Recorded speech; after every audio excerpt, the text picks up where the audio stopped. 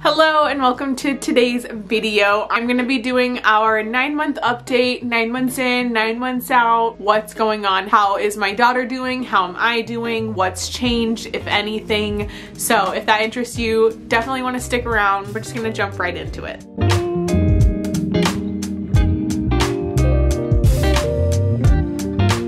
Before I go too much further, I just want to say thank you so much for clicking on this video. It literally means so much. Like, I'm really, really working on my YouTube, upping my quality, just putting a lot of love and time into it, especially as like a first time mom, it's hard to do that and find that balance and prioritize like a passion of yours. And this is something I've Sorry to go on a rant. I've loved YouTube for so long, so I'm really putting myself into it. So the fact that you clicked on this video means so much. If you want to give it a like, that would be amazing. It does so much for my channel. Subscribe. I don't know if you watched my 2023 New Year's resolutions video, but one of my resolutions is to get to 500 subscribers this year. So if you want to help me out in that, I'll love you forever. Okay, let's jump in to the nine month update. All right, first I just wanna say if there's any like moms who haven't made it to the nine month mark, maybe you're in the thick of it in the newborn stage and you're just feeling kind of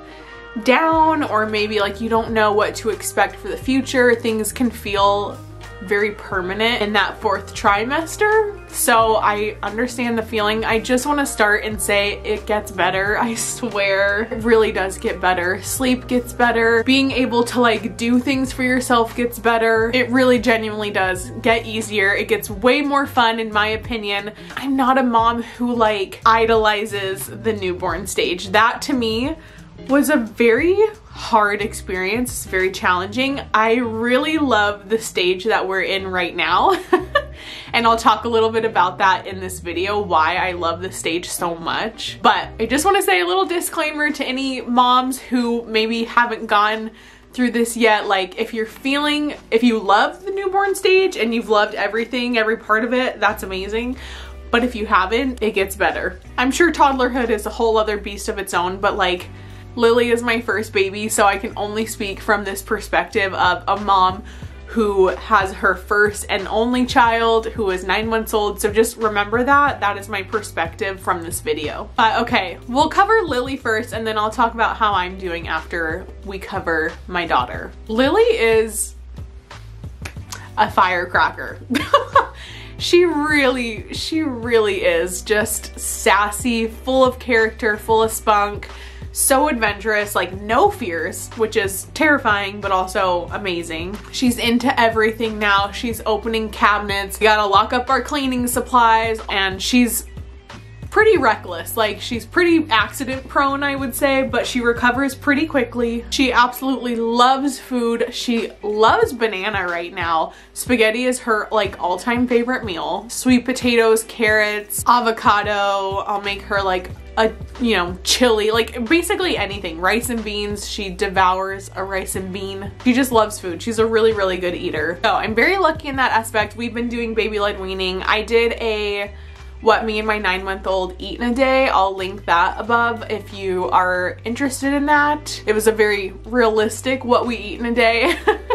So if you're curious, go ahead and check that out. But she's an incredible eater. As far as sleep goes, sleep has been going like pretty good. We're still stuck at like that 3 a.m. feed, but honestly, like my boobs are so full by 3 a.m. that I'm usually like totally fine getting up and feeding her at that 3 a.m. mark. Plus like, it's so routine. I just tend to wake up around that time anyway, but sometimes she'll surprise us and she'll sleep through the night once or twice a week these days, which is a lovely surprise. But then again, I'm not complaining, but like my chest is so full that it's like pretty painful. I really can't complain, but she does put herself to sleep. I haven't rocked her to sleep in like honestly a long time, which is kind of sad.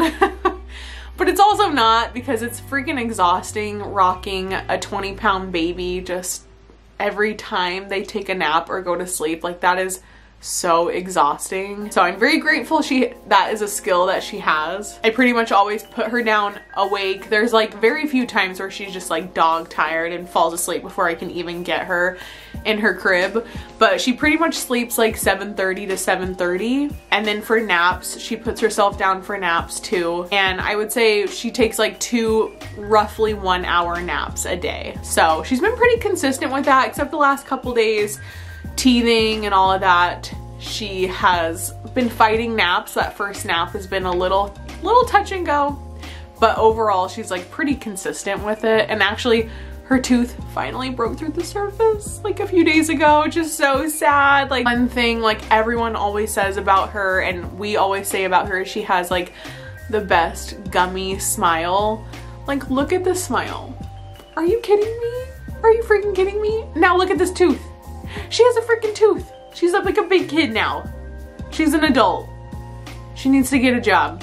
But seriously, like, ugh, no more gummy smile is very, very, very sad. He's saying mama, mama, ma, da, da, da, da, da. I feel like she, we all think she says yum, yum, yum, yum, because I always say that when she eats, and there's a song that we listen to that says like yum, yum, yum.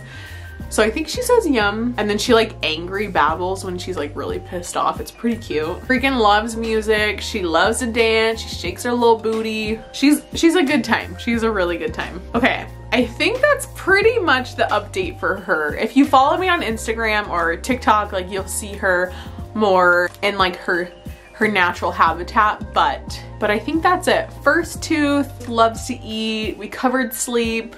I think that's it. She's the freaking cutest.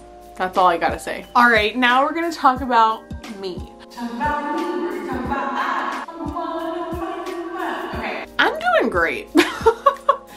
Not gonna lie. I have been feeling so good. Like in the past month, I would say I feel like super motivated, especially when it comes to like my YouTube channel and wanting to like take it more seriously, treat it like a job. I've just been feeling so motivated and inspired and I just have like a million ideas in a million different directions. I have to kind of like reel it back a little bit, but I've just been super excited. I've been excited to get back in the gym. Lily and I took a break going to the gym for like cold and flu season because it was just like ew and I took her back to the gym for the first time like a couple days ago and like 20 minutes in they sent me a text that said like parent snuggles needed and I went back in and she was just like in shambles. It was pretty sad, not gonna lie. So I'm hoping she'll like readjust and you know we'll try it a few more times and hopefully she kind of comes to because she's such a social baby that I feel like that would be such a good setting for her. And the girls at the kids care at the gym I go to like love her. They're all super attentive and sweet and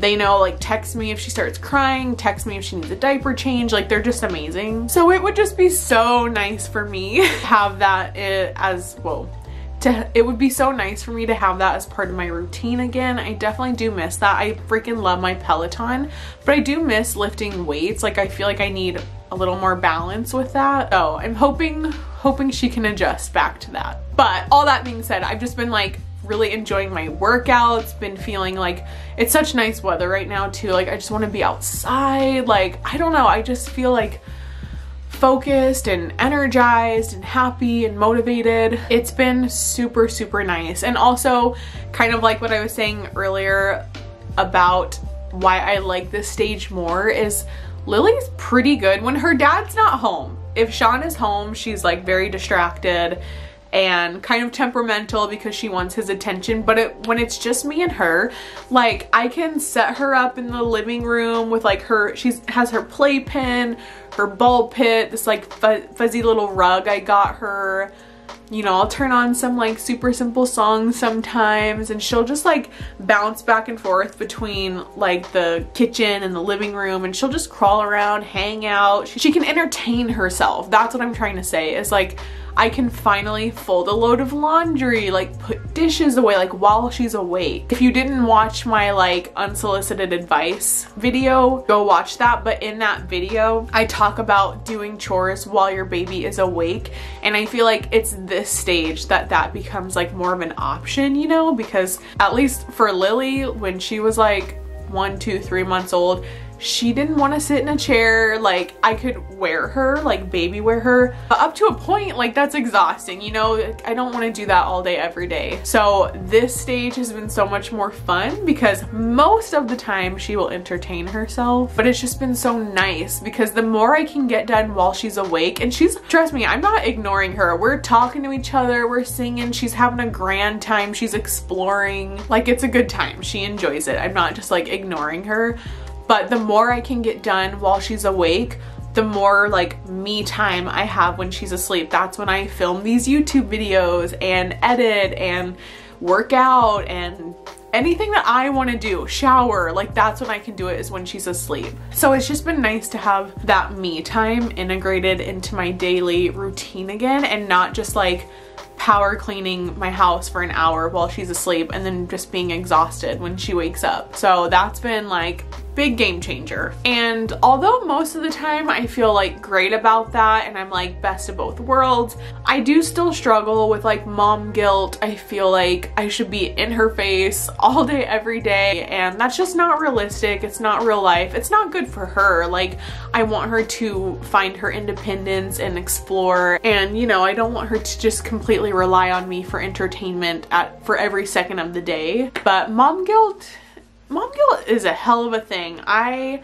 really struggle with this. Anytime someone else is watching her for me, I feel just guilty. I feel like I should be the one with her. Like, is she missing me? Like, does she think I left her? So I definitely still struggle with mom guilt. I don't think that probably really ever goes away. Also, speaking of like working out, I really, you know, you hear the saying nine months in, nine months out, like give yourself grace. Like your baby's in your body for nine months. It takes nine months to like be back to where you were. And I'm sure for like some women that's the case, but I think for a lot of women, it takes more than nine months. I was naive and I thought postpartum ended at six weeks and then you're like free and clear, do whatever you want and your body comes back and blah blah blah. And that's just not the case for me. I'm definitely nowhere near where I thought I would be by nine months. Like I'm not in the shape that I thought I would be. My body isn't doing what I thought it would or hoped it would. And although I would way rather have like a six pack by now. I don't hate my body. I'm very grateful for my body. My baby other than like real food is exclusively breastfed. So my body has a big job. Breastfeeding hunger is no freaking joke. Like I just, my appetite is crazy. And back in the day, you know, I could just like cut calories, work out a couple times a day, and like in a couple weeks I'd, you know, drop the weight that I wanted to drop, but like that is just not the case.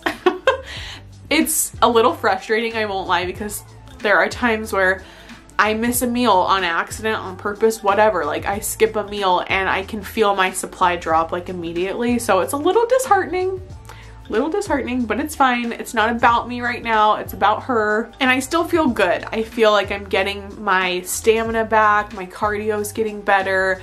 I want to work on getting stronger, getting back in the gym, lifting weights but I'm definitely not where I thought I would be.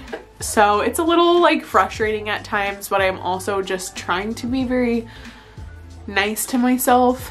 And if by any chance some man is watching this, like if your wife, girlfriend, whatever is kind of going through it postpartum, like this is the time to be extra sweet. Like I'd say for the first like at least year, I mean you should always be sweet, but for that first year after like she might be feeling some type of way and you have a big role and a big impact on how she views herself. Again, if there's any man watching this, you should take that really seriously and just tell your partner she's beautiful and support her in any way you can. This is not the time to try to push her back into the gym or compare her to herself pre-baby, you're going to like really damage damage her brain. Doing that, you're gonna ruin postpartum for her. But if there's any men watching this, now's the time to be extra loving, extra supportive, tell her she's beautiful, and leave it at that. But yeah, honestly, overall, like, things have just been going super well. I I'm getting better about asking for help. My mom and sister being so close is like such a blessing. They come over watch her for a couple hours so I can go out and they get to spend time with her obviously. I want them to all have like a very strong solid bond and that's probably not gonna happen if I'm like always there down their throat and I don't know I'm hoping this momentum just continues and I would love for my channel to to go in some direction. You know, I would love for it to take off in some way. If anyone has any questions, leave them in the comments down below. My Instagram, TikTok is linked. I've been way more active. Go follow those accounts. Thank you guys so much for clicking on this video. I hope you enjoyed it. Don't forget to like and subscribe. Get me to 500 subscribers. Come on. I just have a really good feeling about 2023 and I'd love to take you guys along for the ride. So if that interests you, don't forget to like this video, subscribe to my channel, and I'll see you guys in the next one. Bye!